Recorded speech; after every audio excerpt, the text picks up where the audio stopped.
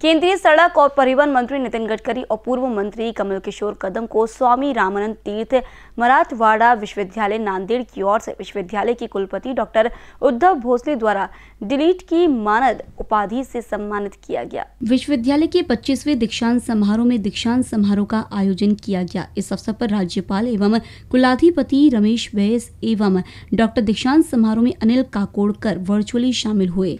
कुलपति डॉक्टर उद्धव भोसले और सांसद प्रताप पाटिल चिखलेकर प्रमुख रूप से मौजूद हैं।